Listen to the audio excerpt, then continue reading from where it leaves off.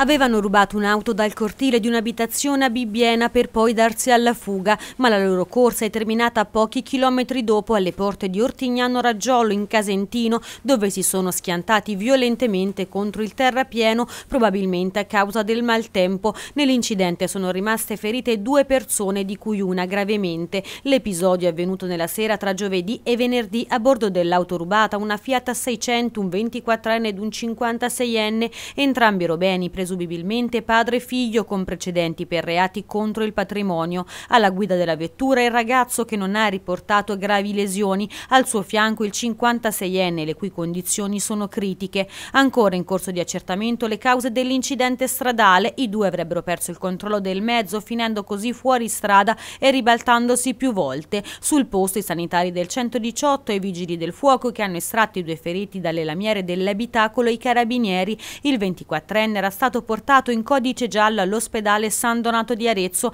è già stato dimesso e trasferito nel carcere aretino di San Benedetto in attesa di giudizio. Gravissime invece le condizioni del 56enne romeno trasportato in codice rosso a Siena. Attualmente si trova in coma, anche per lui è stato disposto l'arresto.